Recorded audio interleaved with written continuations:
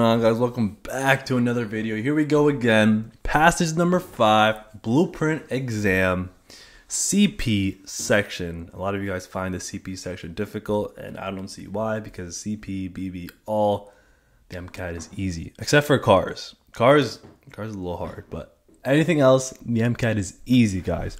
For those of you that don't know me my name is Erick and i'm on a mission to make sure that this mcat is as easy as possible for you guys. Because pre-meds y'all got a lot to go through. There's a lot going on as a pre med. Okay, so you don't deserve to have this MCAT as this huge obstacle going into med school. All right, so I'm gonna be breaking this down. I'm gonna show you guys exactly how to pick the best answer, where to highlight, how to make this passage make sense. And um, if there's any MCAT traps, I'm gonna show you guys how to recognize them. All right. So as always, guys, do this on your own first, and then hear me break it down. Okay. So this is the passage. So this is it. Pause it whenever you need to. Okay, read this on your own first. Here are the questions. Answer these questions on your own first. Write them down. See what you got right. See what you got wrong. Here we go. I'm going to break this down right now. Let me sip on my water. Okay. Potentiometric titration. Never heard that one before is a useful means of characterizing an acid. What does it do? Characterizes an acid. Okay, I'm highlighting things that stick out to me. No indicator is used. Instead, the cell potential is measured across the analyte solution. All right, cell potential is measured across the analyte. When cell potential is plotted against titrant volume added, the equivalence point is the cell potential at the inflection point, the midpoint of the steep segment of the titration curve. Okay, very important there. All right, so they the way they word is a little weird, but basically the equivalence point, all right, that's the midpoint of the steep segment of the titration curve. We know that in our content review, but that equivalent point is the cell potential. All right, if you want to know cell potential, titrate something Look at the equivalence point. That's your cell potential, all right? For polyprotic acids, an acidic hydrogen will produce an inflection point only if it is not very weakly acidic and if its ionization constant differs from that of the other acidic hydrogen of the acid by at least a factor of 10 to the 4. Okay, so an acidic hydrogen, it only produces that inflection point if it's not weak. All right, if it's not weak, if it is not weak, I'm highlighting things to kind of give me a reminder in my head of what's going on in this passage, okay? Because I already sense that this passage is it's going to be a little difficult one, okay? So I'm reading it slow, highlighting what I need to. And if its ionization constant differs from that of any other acidic hydrogen of the acid by at least a factor of 10 to the fourth. Okay, that makes sense. Captopril, captopril molecular weight 217, shown in figure 1, is a competitive inhibitor of angiotensin converting enzyme. All right, thanks for randomly telling me this. Okay, they randomly threw this at me, so obviously there's going to be a question involving this. Whenever they throw random things at you like this, the question is most likely to ask about it. Okay, so that's captopril, a competitive inhibitor of ACE. Students studying captopril were provided the following in vivo IC50 values. What the heck is IC50? The minimum plasma concentration needed to inhibit 50% of target enzyme activity in vivo. For captopril inhibition of ACE under different pH conditions. Okay, so this is a table here. They're basically putting this uh, inhibitor in different pHs and they're looking to see hey, is that inhibitor good under low pH? Is that inhibitor good under high pH? What's the best pH for that inhibitor? All right, and we don't look at this table yet. All right, only when the question asks for it, you look at the table and figures. You don't want to waste your time, you know, analyzing these figures when the question doesn't even ask for it. Okay, so we skip that table. There we go.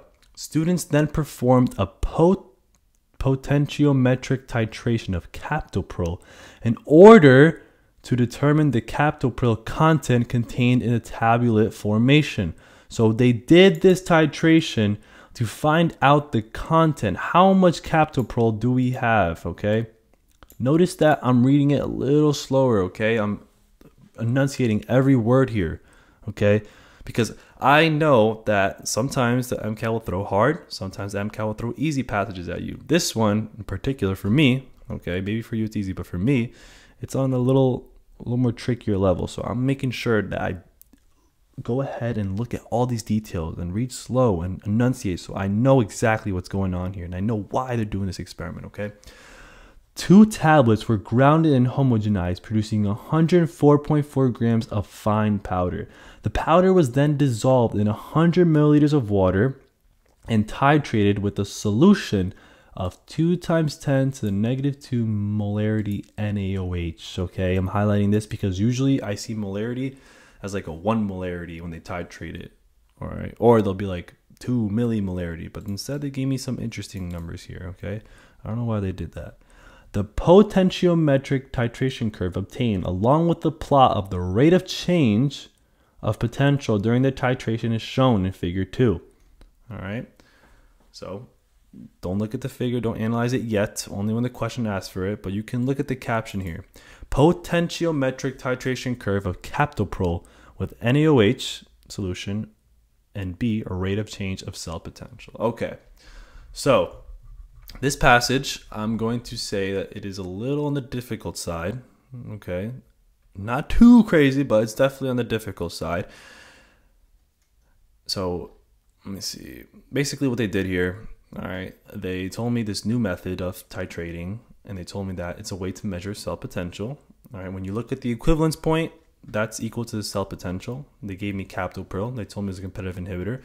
They gave me information on captopril under different pH ranges and they told me how they found the captopril content contained in a tablet formation. Okay, and they did that with the NaOH here. All right. How many moles of captopril were present in the original analyte solution tested? How many moles were present in the original analyte solution tested? Okay. Good question. Very good question. All right, I see a titration curve. All right, whenever you see moles, whenever they ask you about moles and you're given a titration curve, okay, use that titration curve. All right, that titration curve has important information regarding moles. And what is that important information? Well, if you remember in your content review, okay, the equivalence point of a titration curve all right, in this case, it's the cell potential, whatever. But the titration, the equivalence point of a titration curve, which is like right here, okay, that is always equal to one mole of acid and one mole of base. Okay, right there, that information is going to help you a ton. Help you a ton. All right. So, what is this telling us here? This is telling us that we added 7.5 milliliters of sodium hydroxide. All right. They are asking us, they want to know how much captopril, all right, how much captopril do we have? That's what they're asking us. How much captopril do we have? All right. And we know that we have 7.5 milliliters of NaOH added. And in that 7.5 NaOH added, if we find out how many moles is in that, that will be equal to the moles of captopril because at the equivalence point, the moles of captopril is equal to the moles of sodium hydroxide. Okay, so that is what we are trying to find. And in order to make it make more sense for you guys, I'm going to go to the whiteboard here. All right, whiteboard. Where is it? This one here. I'm going to go to the whiteboard. All right. Here's the whiteboard. So what are they doing? What are they asking here? How many moles? They're asking for the moles. How many moles? Okay. What do they give us? Well, we know we have 7.5 milliliters of sodium hydroxide. And we know that we have how much molarity of sodium hydroxide? I'm going to rewrite this. We have, oh, here, 2 times 10 to the negative 2 molarity of sodium hydroxide. So 2 times 10 to the negative 2 molarity of sodium, oh, I read that wrong, of, of sodium hydroxide. All right. I'm going to repeat it one more time, okay? They are asking us for the moles of captopril. okay, I can find the moles of captopril by finding the moles of NaOH at the equivalence point because the moles of NaOH at the equivalence point is equal to the moles of captopril. All right. And how much volume? 7.5 milliliters. All right. So 7.5 milliliters of 2 times 10 to the negative 2 molarity sodium hydroxide. How many moles is in this? How many moles? All right. Let's let's do the math here. Okay, let's do the math. So 7.5 milliliters. Actually, I'll write it a different way for you guys. All right. 2 times 10 to the negative 2. Molarity is equal to moles per liter. All right. What are we given? Liter. That's why I always like to write out the units. All right. I don't write molarity only. I write moles per liter. So I could help me cancel things out. All right. Times 7.5 times 10. We have milli here. So times 10 to the negative 3 liters. That's going to give me moles. Okay. So let's multiply this here. What did they give us here? Okay. So 2 times 7.5, 2 times 7 is 14. 2 times 0.5 is uh, 15. Also, they give us here. Okay, so I'll write it out for you guys. So 7.5 times 2, if you want to do it this way, 0, 1. 7 times 2 is 14, plus the 1 is 15. Okay, so we have 15 times 10 to, right, whenever you're multiplying exponents, you just combine them. So times 10 to the negative fifth. Do they give us that answer? Okay, they give us to the fourth. So we move this. It's 1.5 times 10 lars. That is my mnemonic. Okay, if I move to the left, I'm going to add. So I add 1. Negative 5 plus 1 is negative 4. The answer is 1.5 times 10 to the negative 4. That is the amount of moles of sodium hydroxide that we have in 7.5 milliliters. But since we're at the equivalence point, that is also the moles of captopril. Okay, so the answer is 1.5 times 10 to the negative 4. Wow, that was a mouthful. I would say that was a, a very MCAT representative question. Okay, that's a really good MCAT representative question. That's how they want you to think. Very good question there. All right. If the students perform an enzyme inhibition assay using captopril, which of the following changes in the kinetic parameters of ACE should be expected? All right, simple, quick, guys. Competitive inhibitor, no excuse why you should not know, you know, your competitive inhibition, uh, non-competitive, all that stuff. Competitive inhibitors, they're going to increase the Km, and the Vmax is going to be unchanged. So it's uh, this one right here. 24 is D.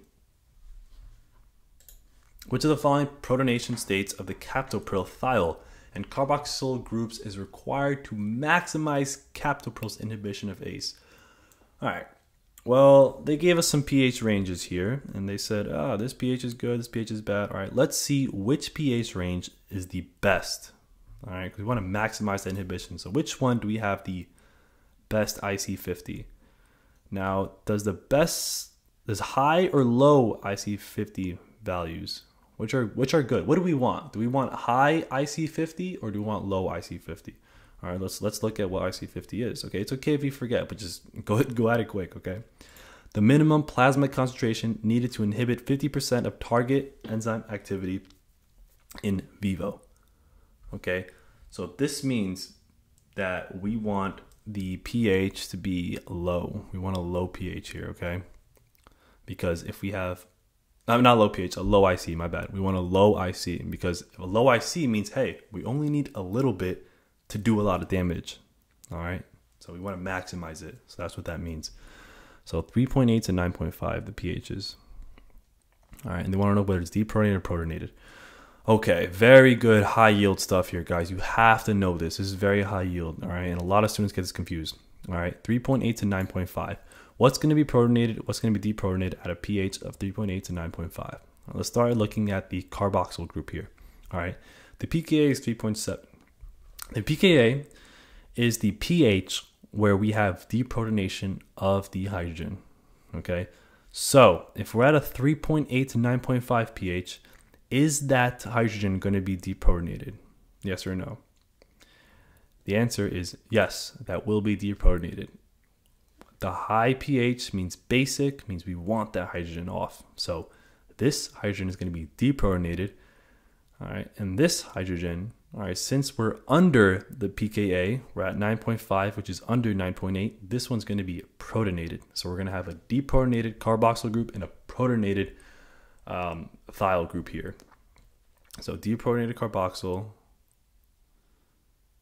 deprotonated carboxyl, where is it? Deprotonated carboxyl and protonated thiol. Correct. The answer for 25 is B. According to the data in Table 1, what mass of captopril must be dissolved in 3 liters of plasma at pH 7.4 to inhibit 50% of ACE enzyme activity in vivo? Another Gen Chem question asking about masses, moles, all this stuff, okay? So, we're looking for the mass. We're looking for the mass. All right. Three liters they gave us. They gave us three liters. They gave us the volume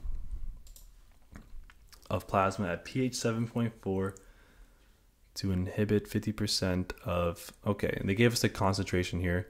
We're going to use 0.012 because pH 7.4 is between here. All right. The only one that has pH 7.4 is this one. This one doesn't have 7.4. This one doesn't. This one does. This one does not have 7.4. So we're going to use these concentrations here. All right. 0.012 micromolarity. 0.012 micromolarity. All right. So we have our information. What do we do? How do we find the mass? Well, if you guys are stuck, highly recommend you guys do this. Write out the units. Write out the units, okay? 0.012 micro, so times 10 to the negative 6, molarity, I write out these units, which are moles per liter. All right, now that I wrote out the units, I can kind of see what's going on here. I have liter, 3 liters. Cool, 3 liters. We multiply this, what do we get? All right, I don't like how this looks. We're to go 1, 2. All right, Lars we went to the right twice, so we subtract by 2 here. So this is going to be, instead of this, it's going to be 1.2 times 10 to the negative 8 times 3. It's going to be 3. 12 times 3 is 36, so 3.6 times 10 to the negative 8. We crossed out liters, we get moles. So we have 3.6 times 10 to the negative 8 moles. Now we have moles. We're looking for mass. I'm looking for mass. Is there an equation to go from mole to mass? Yes, there is. Okay, moles is equal to mass over molar mass. And they gave us the molar mass, I'm pretty sure. They have to. Okay, what is it? 215. I'm around that 200. All right. This, I don't like it. I'd rather have 2 times 10 to this 2. This is equal 3.6 times 2 is 7. 7 point, okay, they're all 7.9. So there has to be 7.9 times 10. When you're multiplying these, you just combine 7.9 times 10 to the negative 6. Answer is this, which is 10 to the negative 6 is micro. So what says micro? Pico, nano, micro. Answer C. But bam! Let's see if we got all these right. Let's see. Let's see. Let's see. 23, we put B. That is the one that we put. Just to double make sure. I'm to show you guys. Oh. But bam. B. Let's keep going. Next. D. Let's go. You know your competitive inhibitors. B. Protonated thiol and deprotonated carboxyl. Bam. There's explanation if you guys would like. Bam. 26. Bam. That's how we do it, guys. We're confident, we're effective, we follow a procedure, and we do what's proven to score well on the MCAT. I teach MCAT proven techniques to score well on the MCAT. And if you're interested in working one on one with me, learning MCAT proven techniques, okay, go ahead to the comment section of this video, click on the link, and fill out the application form to schedule an interview. Okay, we'll schedule an interview. I'll see if you're a good fit. And if it seems like we're a good fit to work with each other, then I will ask you to join MCAT University. And in MCAT University, I have tutors in there. I have uh, old MCAT exams. I have other students working hard as well. It's the whole entire package you need to hit your target score. I will hold your hand and make sure you hit that target score. I've done it plenty of times with pre-meds, and I'll make sure I do it with you. So go ahead, click on that link, fill it out, and I'll see you guys in the next video.